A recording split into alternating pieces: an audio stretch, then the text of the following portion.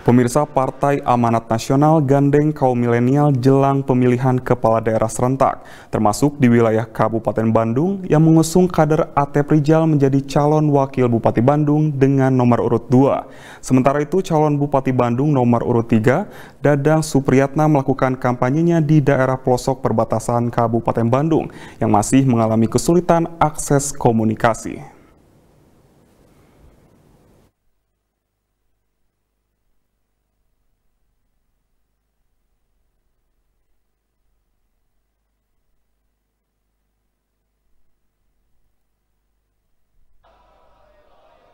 Pasangan calon bupati dan wakil bupati nomor urut 2 Yena Maksum dan Atep Rijal mengikuti pengukuhan kaum milenial Partai Amanat Nasional yang digelar di kawasan Soreang, Kabupaten Bandung.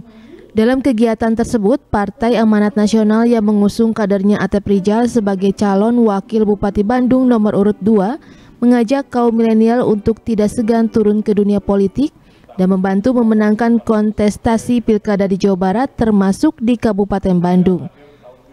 Partai Amanat Nasional menargetkan 100% kemenangan dalam pilkada di Jawa Barat, termasuk bagi calon kepala daerah Kabupaten Bandung, yakni pasangan Yana Maksum yang diusung Partai Demokrasi Indonesia Perjuangan dan Atep yang merupakan kader Partai Amanat Nasional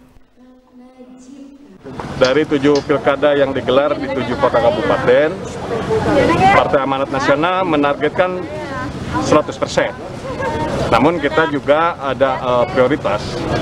Prioritas itu tentu di antaranya adalah uh, bukan saja mempertimbangkan aspek kondisi kekuatan politik daerah, tetapi juga aspek kader.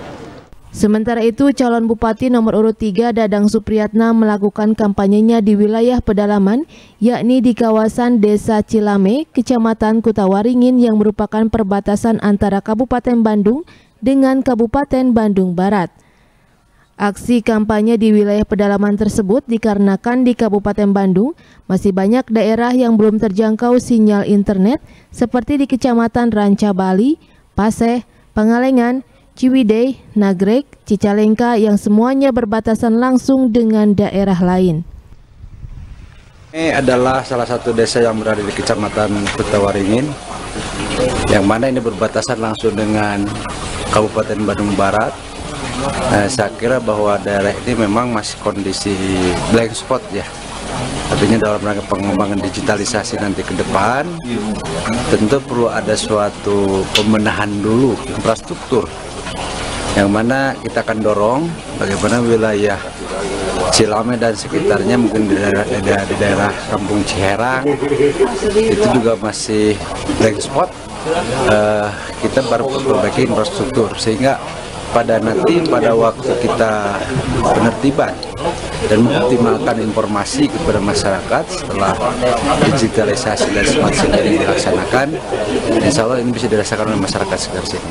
Seperti diketahui, tahapan Pilkada Kabupaten Bandung sudah memasuki masa kampanye. Berbagai strategi dilakukan masing-masing pasangan calon guna menarik simpati masyarakat hingga waktu pemilihan pada 9 Desember mendatang. Yuwana Kurniawan, Bandung TV.